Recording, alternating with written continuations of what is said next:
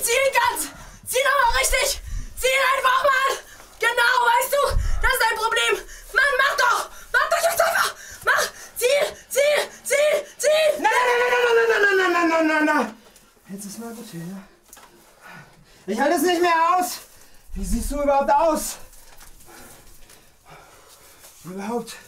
Komm, sing. Sing mal was Schönes, was Lustiges. Hier, ja? Komm, mach.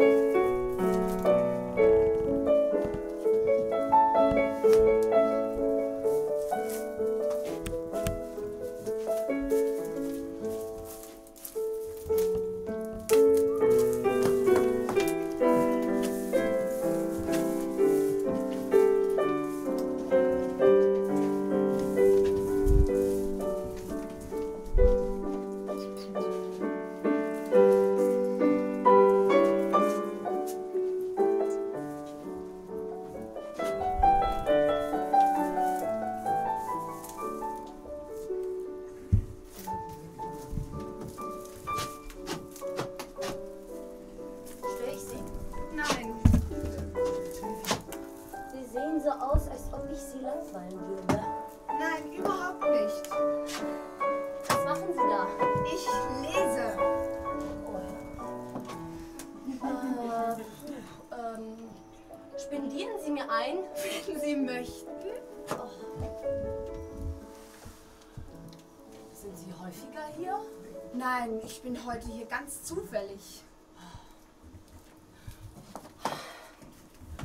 Weshalb lesen Sie? Das ist mein Beruf.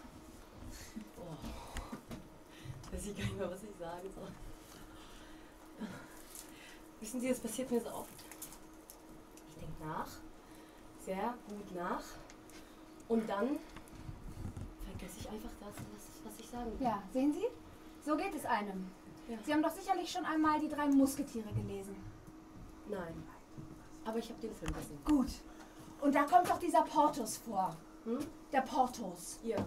Ach nein, das war nicht in den drei Musketieren. Das waren 30 Jahre später danach. Ah. Aber der Portus. Der Portus ist groß, stark und blöd. Also verstehen Sie, blöd. Der hat in seinem ganzen Leben noch nicht einmal gedacht. Und dann bekommt er diesen Auftrag, in einem Kellergewölbe eine Bombe zu platzieren. Und er nimmt den Auftrag an. Und er geht in das Kellergewölbe und er legt die Bombe und er zündet die Lunte an. Und dann will er sich natürlich aus dem Staube machen. Und als er läuft, fängt er plötzlich an zu denken. Und woran denkt er?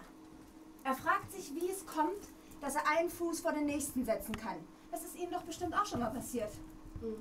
Und dann, dann kann er nicht mehr weiter. Dann kann er nicht mehr laufen, dann kommt er nicht mehr vorwärts, er kann nicht mehr. Er kommt einfach nicht mehr weiter. Und alles fliegt über ihm in die Luft. Das ganze Kellergewölbe bruch, auf seinen Schultern. Und er hält die noch.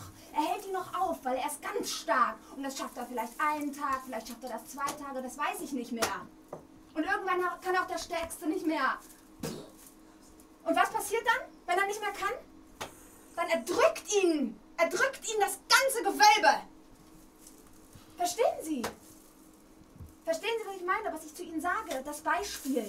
In dem Moment, wo er anfängt zu denken, da stirbt er. Warum? Erzählen Sie mir solche Geschichten? Ja, einfach nur so, um irgendwas zu sagen. Ja. Ich finde, man sollte am besten gar nichts sagen. Ich finde, man sollte lieber still leben. Ich finde, je mehr man sagt, desto weniger bedeuten die Worte. Ja, Ja. aber ist das möglich? Das weiß ich auch nicht. Ja, ich weiß es auch nicht. Hm. Dabei, Mich aber. ja, Ja, bitte. Ja, bitte. ja, dabei müsste es doch wirklich angenehm sein zu leben, ohne zu sprechen. Ja, oh, doch, das doch, das wäre so schön. Das wäre wirklich so schön. Ich glaube, da würde man sich wirklich viel mehr lieben. Aber das ist ja gar nicht möglich. Das hat ja bisher noch nie jemand geschafft. Ja, dabei verstehe ich nicht warum. Ja, das hat bisher noch nie jemand geschafft. Hm. Wie sie mich anschauen. Sie müssen, achso, Ja, ja gut. Genau. Da muss man hinkommen.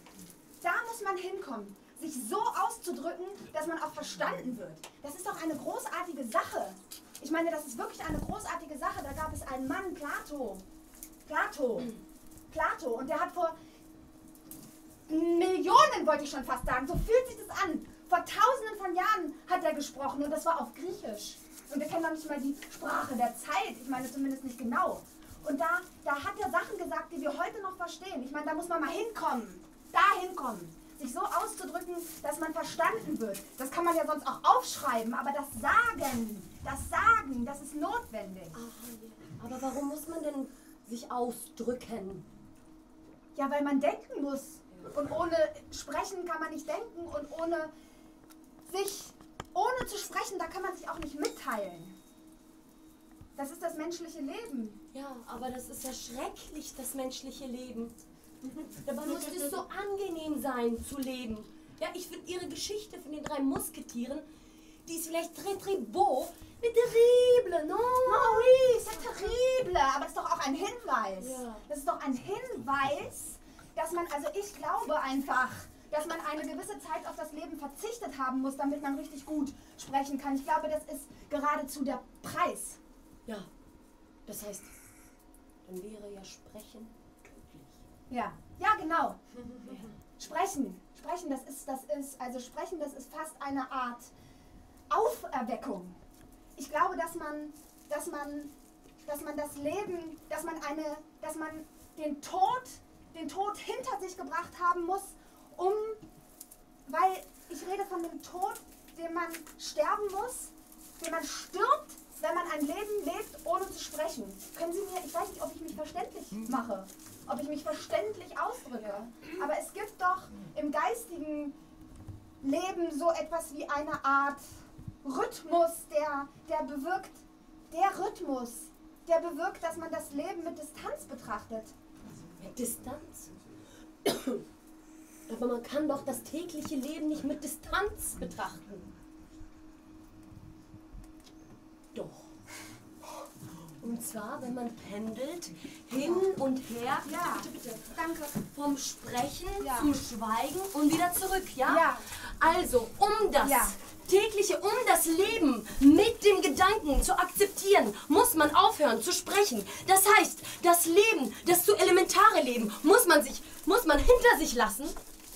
Man muss es töten, um dann das Leben mit dem Gedanken zu akzeptieren. Verstehen Sie? Man muss es töten. Ja. Aber ist denn, ich meine, meine Frage ist doch noch immer, ist Sprechen und Denken dasselbe? Ja, ich glaube ja, ich glaube ja. Ich glaube, das eine, es ist eine alte Idee von Plato. Und, und, und ich glaube aber, ähm, dass man im Denken nicht unterscheiden kann, was Gedanke ist und was die Worte sind, um ihn auszudrücken. Ja? Also analysieren Sie jetzt mal Ihr Bewusstsein so. Analysieren. mm. Sie können einen Augenblick des Denkens nicht anders erfassen als mit Worten. Aber dann, dann laufe ich ja ständig in der Gefahr, in die Gefahr, Ja. in direkt, sobald ich spreche, dass ich dann anfange zu lügen. Ja, aber die Lüge ist ja auch ein Mittel, um den Gedanken zu suchen. Ja, und ich spreche jetzt nicht von dieser alltäglichen Lüge, dieser Eulenlüge, ja, dieser 5 Uhr Lüge. Wissen Sie so, ah, wir treffen uns morgen hier wieder um 5 und ich beabsichtige aber überhaupt nicht morgen um 5 hier zu sein, ja, das ist eine Kacklüge, eine Schwindelei. Ja, ich rede von dieser von dieser kaum bemerkbaren Lüge, sich von dem Irrtum kaum zu unterscheidenden Lüge. Ja? Und das war, glaube ich, doch das Problem. Sie haben nach dem Wort gesucht, hatten Angst, es nicht zu finden und, und wussten dann nicht mehr, was sie sagen sollen. Ich glaube, so ist es gewesen. Ja, aber wie kann ich denn sicher sein, dass ich das richtige Wort gefunden habe? Ja, ja. Daran muss man arbeiten.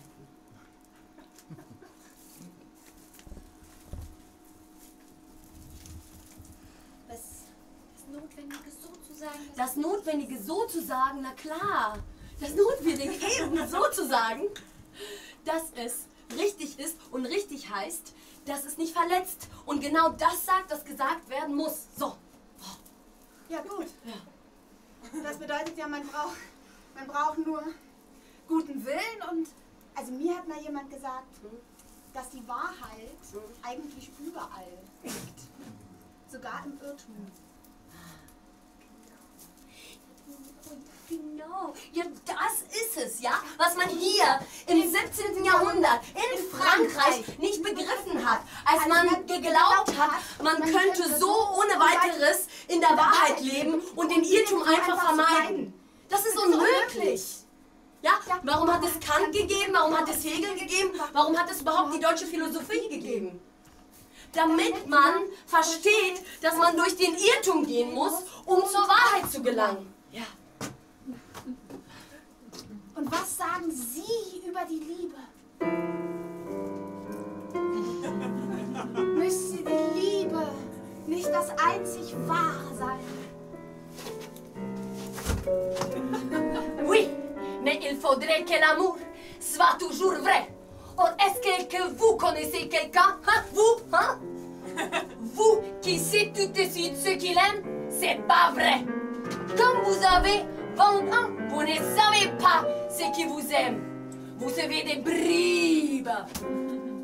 Mais pour arriver à vous constituer entièrement avec simplement ce que vous aimez, il faut la maturité. C'est-à-dire, il faut la recherche. C'est ça, la vérité de la vie. C'est pourquoi l'amour est une solution, mais à la condition qu'il soit vrai.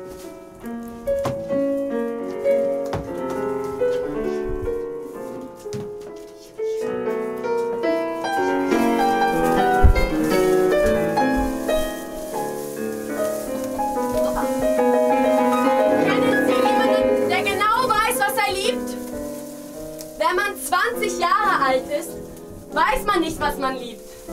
Man kennt paar Brocken. Man begaunert sich und sagt, das liebe ich.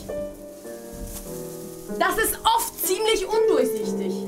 Aber um dahin zu kommen, sich völlig seiner Person gemäß einzurichten, einfach mit dem, was man liebt, dazu gehört Reife.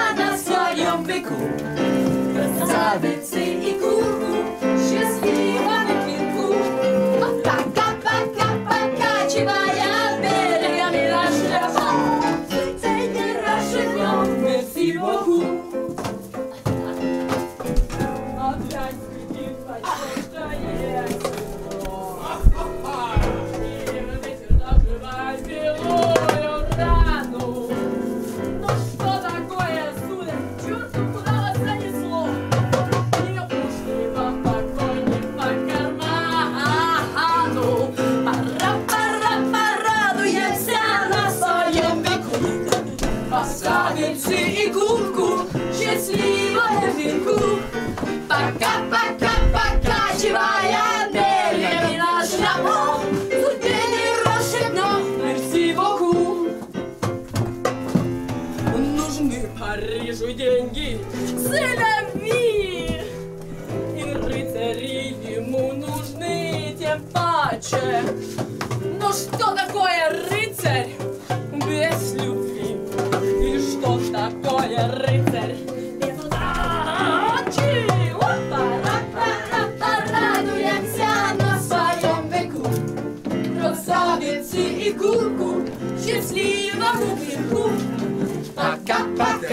Catch you by your feelings, catch you. Look in the.